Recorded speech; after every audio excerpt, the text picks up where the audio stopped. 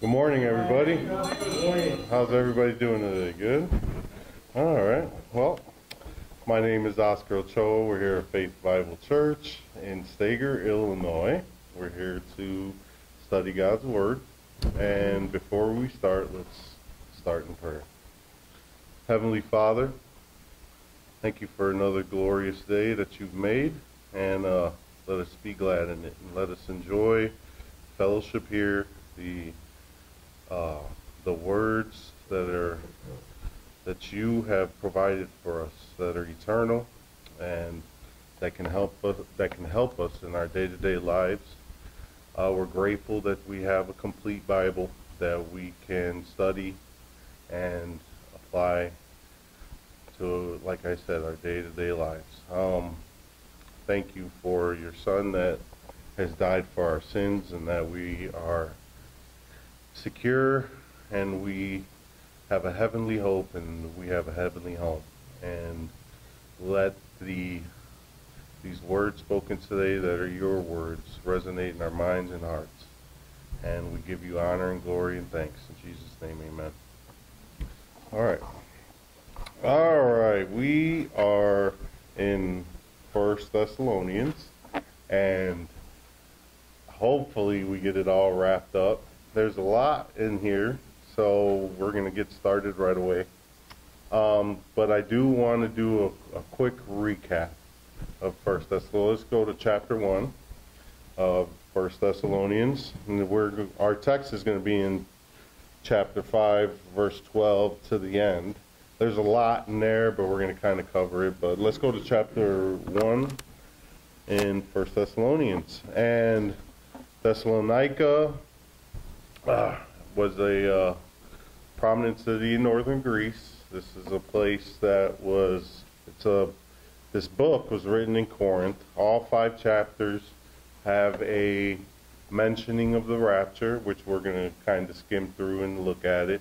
We have a, these churches that Paul, the people that, um, the things that Paul was looking for in churches was that faith, hope, and love. And we're going to kind of go through that real quick and see those. Remember this book, it was written around 51, 54 AD, around that time. Um, they say it's one of the first books that was written. I don't know if that's true, but say it's one of the first ones that Paul was writing. And um, these Thessalonians were idolaters, and they went from idolatry and went to having faith in the mystery and learning about this from Paul. They had about three weeks to a month around there that Paul was there, and they learned a lot of these truths. So, uh, just skimming through this, um, we see that in chapter 1 of verse 3, you see, remembering without ceasing your work of faith and labor of love and patience of hope in our Lord Jesus Christ in the sight of God and our Father. There goes that threefold. So moving forward in verse 9, for they themselves show us what manner of entering in we had unto you. That's Paul saying the things that we, that you know when I was there. This is what you've produced. How ye have turned from God, to, how you have turned to God from idols to serve the living and true God. So you see that faith aspect there, uh, turning to God from idols, and you see that service, that serving aspect, which is the love and verse 10, and to wait for his son from the heavens, which he has raised. So that's that hope. And that's one thing that you see of the rapture. So in verse, in chapter 2, in, uh, in verse 19, for what is our hope or joy or crown of rejoicing? Are not even ye in the presence of our Lord Jesus Christ at his coming? and uh, chapter 3 and verse 13. To the end he may establish your hearts unblameable in holiness before God, even our Father at the coming of our Lord Jesus Christ with all his saints. There goes another reference. And of course, you have uh, chapter 4, verse 13 through 18. But I would not have you to be ignorant, brethren, concerning them which are asleep, that ye sorrow not, even as others which have no hope. For if we believe that Jesus died and rose again, even so them which sleep in Jesus, so that's the saved that are dead, and will God bring? Remember the Thessalonians where uh, they were worried about their fault, their dead, um, their loved ones who were dead, and that they they were going to be in this rapture. And you see uh, that they will. For this we say unto you by the word of the Lord, that we which are alive and remain unto the coming of the Lord shall not prevent them which are asleep. For the Lord himself shall descend from heaven with a shout, with the voice of the archangel, and with the trump of God, and the dead in Christ shall rise first. Then we which are alive and remain shall be caught up together with them in the clouds to meet the Lord in the air, and so shall we ever be with the Lord. Lord, wherefore comfort one another with these words. So this is the hope, our hope of the rapture. Then you go into chapter five and verse. So this, uh, like I said, we're just kind of skimming through because we're going to try and finish up Thessalonians. So this is that book. It, these are kind of some points on here, and you see that word "but." Now it switches. It goes back to prophecy but of the times and the seasons, brethren, ye have no need that I write unto you. For yourselves know perfectly that the day of the Lord, remember we had the day of Christ and the day of the Lord. So the day of the Lord is prophes- uh, uh, prophetical. So cometh as a thief in the night. For when they shall say peace and safety, then sudden destruction cometh upon them, as travaileth upon a woman with child, and they shall not escape. It's basically saying when it happens, there's no escape. They're going to feel that wrath. Remember, right now, God is a God of peace. Today, man is having his day, but this is going to be God's day where he's going to have his day. And everyone asks, oh, why is God allowing these things? Well, guess what? There's a time where he's not going to allow these things anymore, and that's what they call the day of the Lord. All right, and um, and then you see that that word "but" in verse four, and it goes back to us, back to the mystery, back to a different program. So, but ye brethren, and goes on goes on with the day of uh, children of light and all those things. So, um, and then verse eleven, where verse ten in chapter five, who died for us, and whether we wake or sleep, we should live. No, I'm sorry, verse nine. For God hath not appointed us to wrath, but to obtain salvation by our Lord Jesus Christ. And you see that there, that you see the wrath, this is a pre-trib.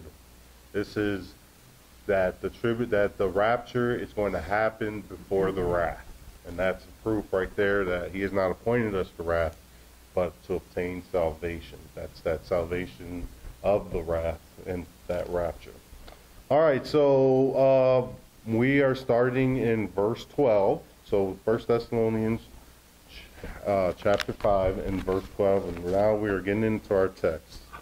And uh, here we go. And we beseech you, that's urge you, we urge you, brethren, to know them which, which labor among you and are over you in the Lord and admonish you.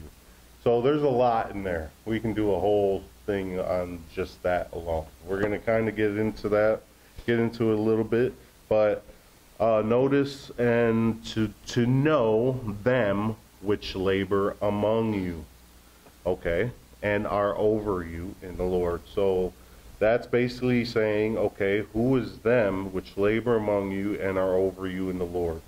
All right, these are spiritual leaders, spiritual people. They, God wants us to recognize and esteem them um, there are a bunch of people here in this church, this local church, who are leaders, who work and labor among the Lord. You have teachers, you have people who uh, who work behind the scenes. There's there's a whole list of people that are working amongst the Lord. So we know that everyone we have a, equal standing in the eyes of the Lord. When you're our salvation, the Lord sees us all the same here on earth there is a hierarchy, I guess, where um, people are over each other, and it's not over to where they're, you know, telling you this. I'm still getting into this, so we're going to kind of let the Bible explain itself here. But let's go to Ephesians chapter four and and verse seven. So there's a lot of people, like I said here, they don't labor for money. They don't labor for recognition. They they they know that the Lord sees them. They don't let the world. They're not asking the world to say, "Oh, you did such a good job." Actually, we are supposed to, in love, tell each other, "Hey, we did a good job. We were doing good," you know. And um, so this is within the church, and um, Ephesians chapter four and verse seven. So, and then as you read these scriptures, so it's so good to just see the scripture itself and just it just explains itself. Ephesians chapter 4, verse 7. But unto every one of us is given grace according to the measure of the gift of, of Christ. Wherefore he saith, When he ascended up on high, he led captivity captive and gave gifts unto men.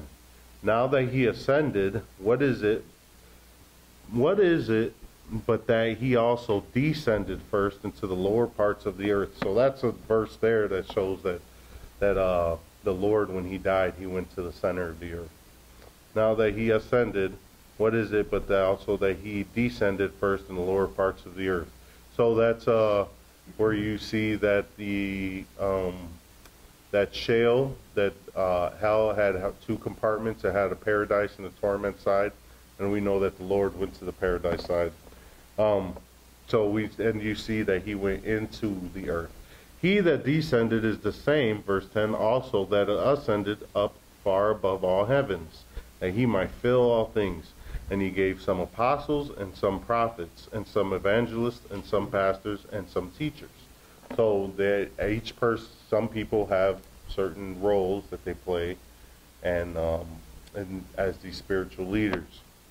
Verse 12 for the perfecting of the saints. So when we come to church, we edify each other, we, you know, build each other up because we're the body of Christ. Each part of the body is a, you know, has its job, has its, everyone is important in the body of Christ. For the perfecting of saints, for the work of the ministry, for the edifying of the body of Christ till we all come in the unity of the faith, and so the knowledge of the Son of God, until a perfect man, unto the measure of stature of the fullness of Christ. And that's what we're trying to we're trying to measure up to our Lord. And you know, and Christ has made us complete in Him. He's gave us a complete Bible, and He wants us to be a complete grown adult in Him, when um, and to be there for each other and verse 14, that we henceforth be no more children tossed to and fro, uh, that we henceforth be no more children tossed to and fro and carried about with every wind of doctrine by the sleight of men and cunning craftiness, whereby they lie in wait to deceive, but speaking in truth and love, and may grow up into him in all things, which is the head, even Christ. So every wind of doctrine, there's that's it's a strong verse there. So you know that's what's happening in the world. People hear something and it's and it's just not sound, and they're just getting tossed to and fro. And here we are trying to uh, rightly divide and to uh, make sure that the scriptures are divided in a way to where we understand what's written to us and what's not written to us. And sadly, a lot of the churches, a lot of the church today are reading and understanding things that are not written to them. They're, you know, and taking it as their own. But um, I digress on that. Let's go to 1 Timothy 5:17. So a little for a while here, we're going to be bouncing around. 1 Timothy 5:17, and right now we're kind of touching base. So you've seen that they had the apostles, evangelists. So I just kind of want to, and remember here in Faith Bible Church, we try to study Scripture with Scripture. We compare spiritual things with spiritual things and let the Bible explain itself. 1 Timothy 5 and verse 17. Let the elders that rule, so we have elders here in our church, let the, let the elders that rule well be that rule well be counted worthy of double honor, especially they who labor in the world in the word and doctrine. So that's study, you know, that doctrine. So um, in Ecclesiastes 12:12 it says that much study is weariness of the flesh. That so studying actually makes the flesh makes your body tired. So study is work. And what does God say in 2 Timothy 2? Study to show thyself approved that you're a workman. So, um, just letting you guys know that we all know that. We read a book, we're like, oh, you know, sometimes you start yawning, you get tired. Well, it's work, you know. It's weariness of the flesh, God says. Uh, so when you're studying, don't take it as being void. You know, it's not in vain. God sees you. When you're by yourself there and you're learning, God sees you. And he's, he's appreciating every moment when you're doing with, when you're doing that. So, but I wanted to touch let the elders rule. So it's kind of saying, hey, there's a hierarchy, there's a, you know, like I said, I'm not going to get too much in it because I don't know too much about it. But let's go to 1 Corinthians chapter 12 and verse 28. And you'd be surprised when you talk about one verse, you could just bounce back Oh, you know, you could just go back and forth, and God's word just keeps going. You know, that's the beauty of God's word. Uh, 1 Corinthians chapter 12 and verse 28. And God hath set some in the church first apostles, second, secondarily prophets, uh, thirdly teachers, after the after that miracles, then gifts of healing, helps, governments, diversities of, of tongues, are all apostles, are all prophets, are all teachers, are all workers of miracles. Um, so we know that there's no apostles and prophets today. That's something we still have teachers, uh, we still have helps, we still have governments, um, and, but we don't have the diversities of tongues.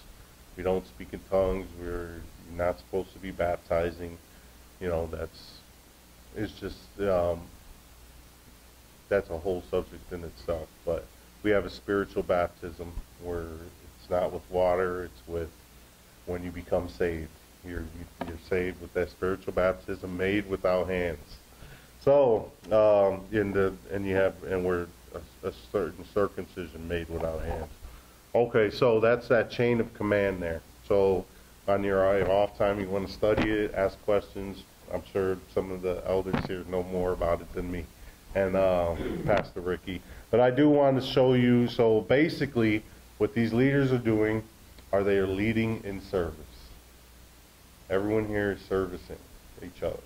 So we should give our lives as a living, so serving others will lead you, uh, um, I want to get into that here in a little bit, but we should give our lives as a living sacrifice for other people. If you love people, you will serve them instead of waiting for them to serve you. And um, remember, God is a God of order, so that's what God wants a certain order in things, and that kind of reflects respect. And um, He's always setting things in order, and you'll see here in a little bit why in the in the future verses. Um, let's go to so let, we're going to see an example of Christ serving, and we're going to see an example of Paul serving. So let's see with our Lord Jesus Christ in Mark 10. Let's go to Mark chapter 10, Mark chapter 10.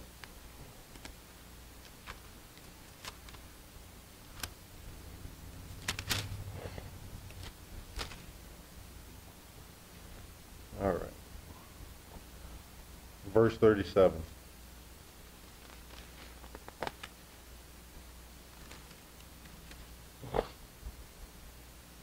No, I'm in Matthew. Okay.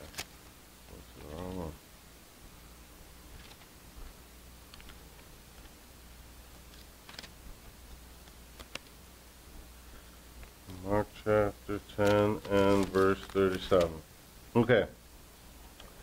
They said unto him, Grant unto us that we may sit one on thy right hand and the other on thy left hand in thy glory. So these um, James and John wanted to sit right next to the Lord and rule with him and be like, hey, or you know what I mean? So they're like, hey, we're going to rule, run this show. And so that's what these guys went and asked the Lord. Uh, but Jesus said unto them, You know not what ye ask. Can ye drink of the cup what I drink of, and be baptized with the baptism that I am baptized with? And they said unto him, We can. And Jesus said unto them, Ye shall indeed drink of the cup that I drink of, and with the baptism that I am baptized withal shall ye be baptized. But to sit on my right hand and on my left, left hand is not mine to give, but it shall be given to them for whom it is prepared. And when the ten heard it, they began to be much displeased with James and John. So the other ten were like, dude, you guys are trying to come on, come on, man, get in the back, you know. But Jesus called them, but Jesus called them to him and saith unto them, Ye know that they which are accounted to rule over the Gentiles, so remember, they this is a different program. Remember who's writing, who they writing to. This is different language than we are in Paul. Okay? Uh, ye know that they which are accounted to rule over the Gentiles, remember Israel was the, is a chosen nation. This is their trying to accept the kingdom now, and, and the Lord's trying to offer this, going to be offering it. Exercise lordship over them, and their great ones exercise authority upon them. But so shall it not be among you. But whosoever will be great among you shall be your minister, and whosoever of you will be the chiefest shall be the servants of all. For even the Son of Man came not to be ministered unto, but to minister and to give his life a ransom for many. So basically, whatever you're getting out of that is that the Lord said, I came to serve. That's what he's saying. I came to serve. I didn't come here to be served on at this time. Right now, I'm here to serve others. And he's saying that those who are servants are chiefest of all. So we're going to get into this service, this serving bit. And, uh, man, I'm going to uh, go, let's go to Luke chapter 22. We're going to have another example here that we're all familiar with. I think everybody's familiar with this. Luke chapter 22 and verse 25.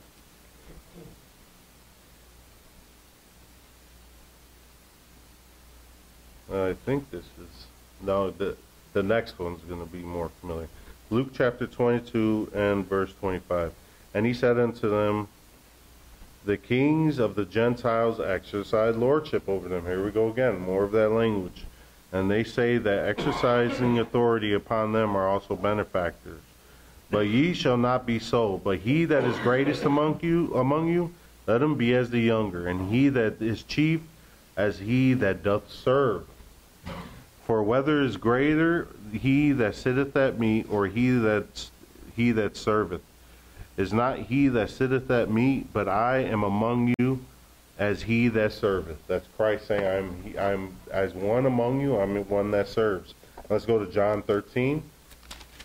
Yeah, we're bouncing a little bit here, but basically, my just John 13, verse 12. The gist that I'm trying to get here is that here in our church and in churches beyond, in our grace churches, that uh, the leaders and the people behind the scenes, you know, uh, they um, are serving. They, that's what they're doing. They're serving the Lord, serving others, and I'm going to tell you why it's so good in this verse here. Chapter 13 and verse 12.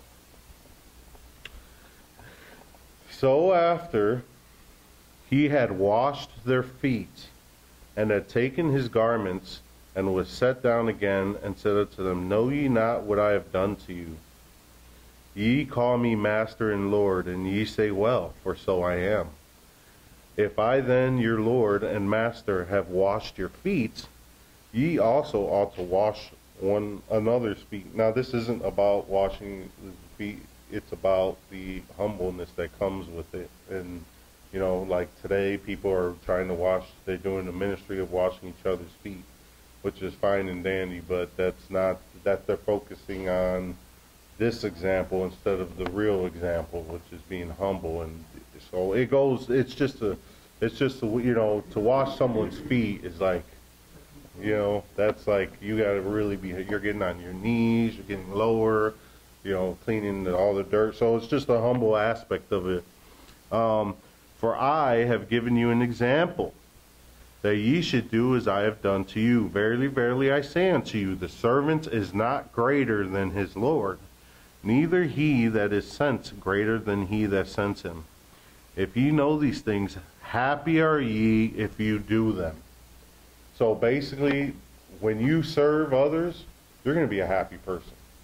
when you serve yourself, you're you're you're kind of making a recipe there of misery, of sorrow, because if it's just something we all know. We've seen in movies and real life.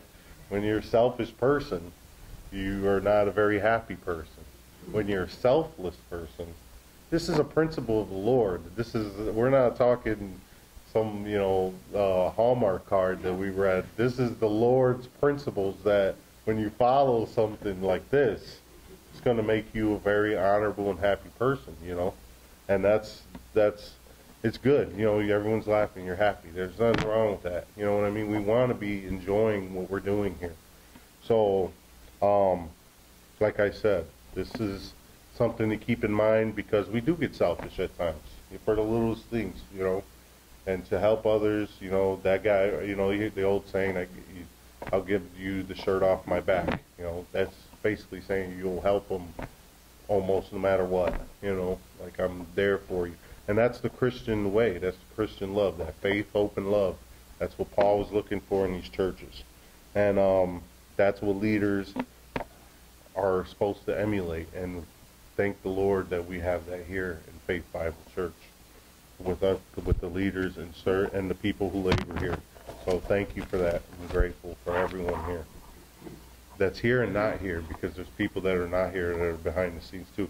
And remember, the Lord sees you. So keep on keep on striving.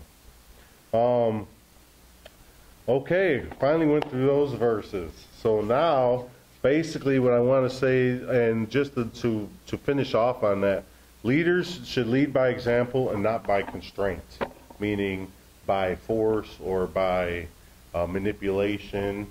So uh, the powers in the local church. Uh, you hear of denominations where far off denominations are running every single church in every part of the country. That is not how God ordained it, where if somebody from another far land was saying, hey, you can't teach that, that's bad doctrine. No, the Lord says within the local church, this is how, within the, the, the elders and the pastor and whoever, that you guys figure it out here. And instead of taking orders from a far off dynasty or whatever, and denomination. There's plenty to name out there, which I won't name. All right, so, uh, and that over you in the Lord there is like the teachers or pastors. He's not over you in your politics. He's not over you in how much money you should give. He's not over you in the clothes you should wear. He's not over you in um, uh, who you should marry. He's not over you in none of your things. He's just there. The pastor and uh, and the leaders are there to show you what the Bible says about those issues. You know, not to constrain you.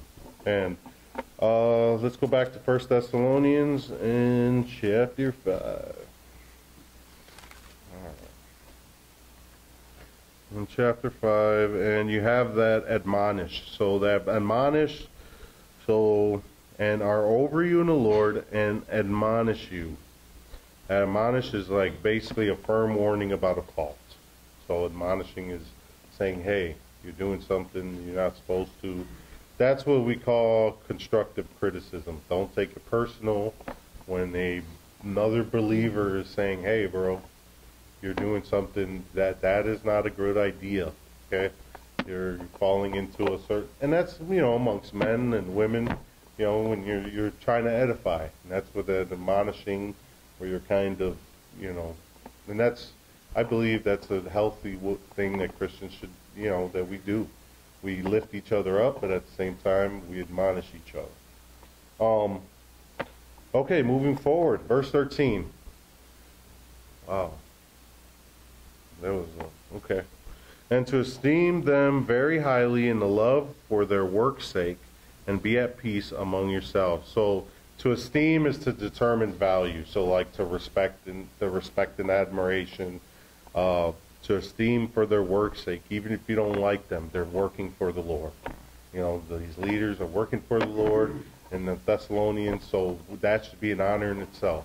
They're working hard for the Lord. They may be snobby at times. You, they they rub you the wrong way, but give them that respect anyways because they're they're they're putting their time and effort in for the furtherance of the gospel. Is is everything sounding? Is everything clear? Okay. All right. I was a little nervous about these passages because I didn't know how to present it.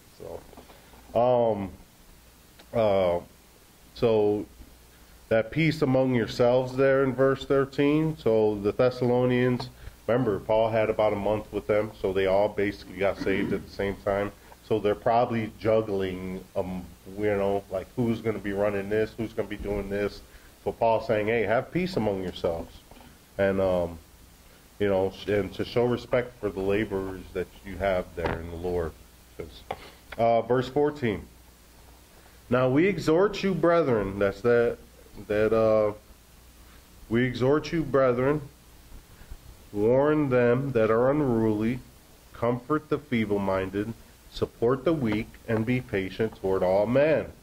And remember, what we're doing here is verse by verse scripture. Anybody listening for the first time, this is a verse by verse. We're going verse by verse. This is a good way to study. So, to read, to go over the Bible. The Thessalonians, so some of the Thessalonians quit their job, and you see that in, later on in, in the next chat, in the next, uh, in Second Thessalonians.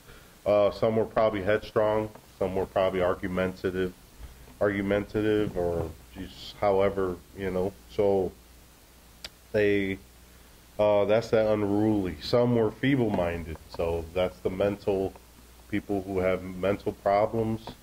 They it, sometimes they can't work. Sometimes it's hard for them to do things, and then you have the weak, the uh, support the weak, be patient toward all men. So there's a physical, physical ailments, and we are to be patient with all of them.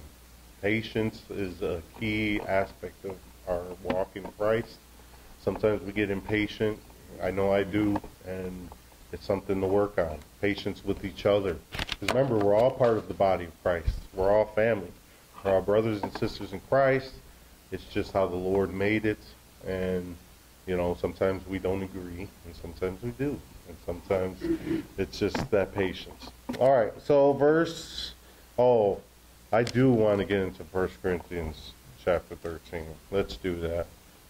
And this will be probably our last, uh, our last, 1 Corinthians chapter 13. This will be our last reference, probably. We're going to make our way to the end of the. This is what's called the love chapter.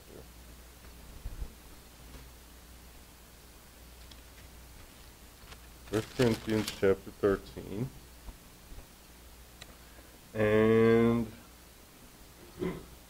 we can go to, this is a good chapter here. Let's go to just verse 1. Though I speak with the tongues of men and of angels and have not charity, I become as a sounding brass or a tinkling cymbal. Charity is another word for love. And though I have the gift of prophecy and understanding all mysteries and all knowledge, and though I have all faith, and though I'm all great in this and that, and I know everything, and so that I could remove mountains and have not love, I am nothing. So you can have all these great things. If you don't have love for your fellow, fellow brethren, the Lord says you are nothing. And this is the Apostle Paul, our, our apostle that we're supposed to be following. And though I bestow all my goods to feed the poor, and though I give my body to be burned, and have not love, it profiteth me nothing. Verse 4. Charity, so if you're doing all these things to look good, and you have no love behind it, you're nothing. That's the Lord is saying here. Verse 4. Charity suffereth, this is the verse I wanted to get to. Charity suffereth long Love suffereth long. That's that patience, forbearance, and is kind. Charity envieth not. Love does not envy his brother, whether he's doing better than him or not, whether he's got more money than him or not, whether he's got things. That envieth not. Don't envy your brother.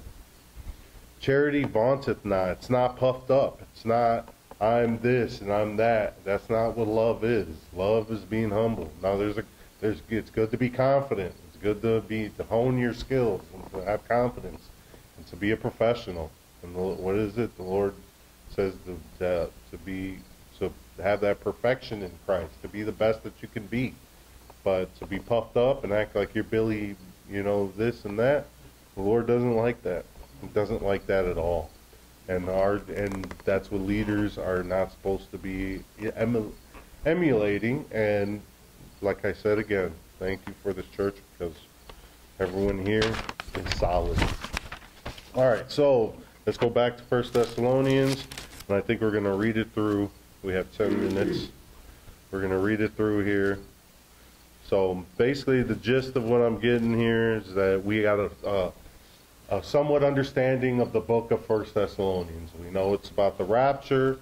We know that, so we know that it's the coming of our Lord Jesus Christ. We know at least these principles. Because remember, what are principles? Principles are the things that come first. Those are to understand principle is to understand is to have understanding in certain things. And I think a lot of people go out in life and they don't understand principles. And God's principles, there's many principles here that the Lord, there's grace, there's soul. and and a principle that we have here is that we have hope, and that's in our heavenly hope, and that's this wrap. That's what First Thessalonians is trying to convey.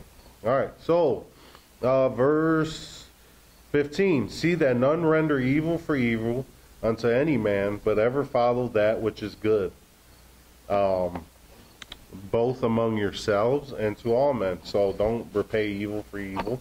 If someone does something evil to you, don't do something evil back. Uh, that's, I mean, that goes without saying, but how many times do we actually do that? And remember, we're, we're trying to go in context here. So it just got done talking about the spiritual leaders, those over you. So uh, what do you want to be? A good example, you know? The congregation, the pastor, teachers, whoever. That's just to be a good example. Um, and to follow good. So basically, flee rebellion, flee ill will, them mischievous, conniving. Someone did you wrong, so you're holding it in, and you're about to do it in the, in a week from now because you got it planned out. Well, there's people like that. Don't you? They're out there, and they they're good at it. So, you know, so we don't want to be like that. Um, verse 16. Rejoice evermore. That rejoicing, that's a, that's a strong word right there. I mean, um, we're accepted in the beloved. We have eternal salvation. That alone is to rejoice at all times. You are, the Lord sees you, loves you, you, you, all of you. He sees you, you're accepted. It's not like, oh, yeah, you can tag along, and, you know, maybe I'll accept you. No, you're accepted. You're in. You're in the club. The Lord, you're part of the body of Christ. You, ha- you're, you are a citizen of heaven. That is to rejoice every day you wake up. Oh man, I'm a citizen of heaven. Hey man, thank the Lord. Rejoice all the time. You know, man, this guy's a citizen too. He's my brother in Christ. Man, when we die, we're gonna live forever. That's basically what it is. We're gonna die. When you die, we're gonna see each other. All every single person in here, when you're saved, we're gonna live eternally after this. Um, so you know, the Father sees us in Christ, not in our sins. Your sins have been slayed clean. Now he sees you. He wants you to conduct yourselves accordingly. Um, you know, even in our sorrows, um, a happy and thankful heart will go a long way for the Lord and will be more rewarding. So just we have sorrows. Every individual in here has sorrows. So, but to keep to, to it'll be more rewarding, you know. And we're trying to stay in the context of leaders and but this can be for anyone too, because this is a principle. All right, verse 17, pray without ceasing. He doesn't say to pray uh, just nonstop when I'm like, like, you know, like you can't pray nonstop. Yeah, that's impossible. So he's just saying whenever you can, pray. Whenever you, whenever something happens, pray. You have free access to the Lord. You literally have free access to the Lord. You literally can talk to the Lord anytime you want, and the Lord will hear you because you are accepted in the beloved. See how it all it all starts. It's all a domino effect. So uh, you don't need another human, another a father or anybody to be your intermediate. The Lord Jesus Christ is our intermediate. We that's why we say that we pray to the Father in the name of the Lord Jesus Christ. He is our mediator. The Lord speaks on us. He is our guy who's representing us, and He dwells in us. The Lord is everything, and He created everything. Care what anybody says. Yeah, so they, you know they, they teach a lot of uh, uh, um, they, they teach they're teaching stuff to our children, saying that there is no God and that there's a big bang, and we know that's not true. Um, verse 18, uh, in everything give thanks, for this is the will of God in Christ Jesus concerning you. When something's going wrong, give thanks, because when because I, I I believe it's when something's going, when something bad's happening, something good is happening at the same time. You just have to find it. So even in during the good times, give thanks. The Lord, this is the will of God to constantly give thanks for our health, that we can wake up this morning, that we can just get up and talk and get up and be happy, to to go out about our lives. Um, so that's just being grateful and gratitude and gladness. Uh, verse 19, quench not the spirit. So basically, grieve not the spirit. You know, don't satisfy evil. Don't don't let it. Don't let this. Don't. You're going to do something you're not supposed to do, and it can give you a long-lasting effect. If you do something wrong, that's that's it's a sin, and it's something that can affect you in your the long run of your life that's grieve. You know, you grieve the spirit when you do it. The spirit is so quench not the spirit. I guess it's similar.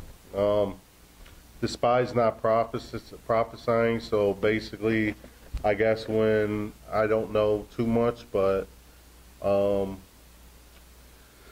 when Paul wrote this letter, prophesying was still going around. Uh, I don't know much about that, but if that's true, then the truths of, the, of all the, the, all the truths of the mystery were not yet revealed. The Bible wasn't complete yet, so he's saying these things. It could be something different. If you have something different, let me know. Um, verse 21. Uh, prove all things, hold fast to that which is good. Test all things. Uh, we are to um, find out if them things are so if somebody's saying something that is probably not right, you can go up to them and be like, hey, I don't think that's right, or I don't think that's accurate, or we're all we're supposed to have in mind to to question and make sure these things are so to the pastor to you know in all of life so you can keep your mind turning keep your mind studying keep your mind sharp and be like uh, let me make sure that's good let me prove that you know let me test that all right so all right um, 20, verse 22, abstain from all appearance of evil. The stay away from anything that's evil. Being in the wrong place at the wrong time happens. Just stay away from evil. You know, you can be in front of a bar, you don't drink, you don't do that. Or you can be over in a group of people and, you know, you someone sees you, they're like, hey, that guy was on TV, he's talking about God, and look at him, he's over there at the bar, you know, or he's anything, you know. It's, this that can be an example, or uh, just we know, stay away from evil. And the very God, verse 23, and the very God of peace sanctify you wholly, and I pray God, your whole spirit and soul and body be preserved blameless unto the coming of our Lord Jesus Christ. There goes another mention of the, rapture. Um, if you, there's a little tidbit here. Uh, so that sanctified, that's your walk, sanctity, that walk in sanctification, and the spirit, soul, and body. Remember, God has numbers, and so we have a spirit, we have a soul, we have a body. We have the body here, we have our spirit, we have two natures, and then we have the um, the soul, which is kind of like the the personality, and the soul is what goes on, and well, yeah. So all right. And so that's a little bit there. Verse 24 Faithful is he that calleth you and also will do it. That's the Lord.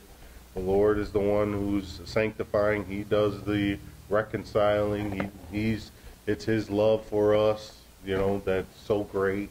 Even though we love Him, it's actually what He has done for us. he could easily just swipe us away and be like, I don't want you, but he doesn't. And, for, and he just loves us that much. Brethren, pray for us. Greet all the brethren with an holy kiss. Uh, that's uh, we know that a kiss is a custom that um, people do in different uh, uh, uh, nations, and I know my family we greet each other with a kiss. But what he's basically saying here is greet each other warmly and heartily. You know, like we say, "Hey, what's up? Hey, what's up?" Like you know, give that handshake and be like, "Hey, what's up?" You know, uh, it's good to see you. Like heartily, you know, like that's what basically like have a good warm like uh, when you see somebody. I charge you by verse 27. I charge you by the Lord that this epistle be read unto all the holy brethren. The grace of our Lord Jesus Christ be with you. Amen. So now we close First Thessalonians. Paul is saying here, hey, tell this to everyone. Tell this to all the whole everyone in that congregation, and that's how the Lord wants us to do with each other and to everyone outside of these walls. Tell this to everyone. So, um, thank you for listening to me. And if anybody's got any questions, comments, go ahead. If not, then we will go ahead.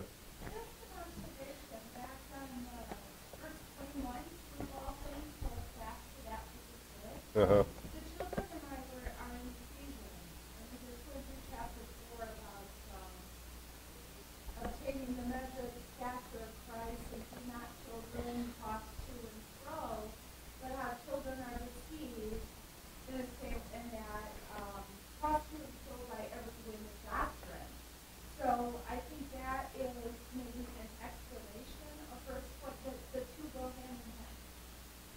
Sounds like it. Yeah, and being tossed to and fro, yeah, because uh, to prove things and don't not to be tossed to and fro, because it's easy. You you hear something that sounds. I've heard things that sounded great, and they were like, and it, they were giving uh, examples. But if I didn't know the Bible, and I didn't have this faith, and I didn't know certain things, I would have thought it was the, the, truth. And it was saying that, you know what I mean? It was saying that God wasn't real.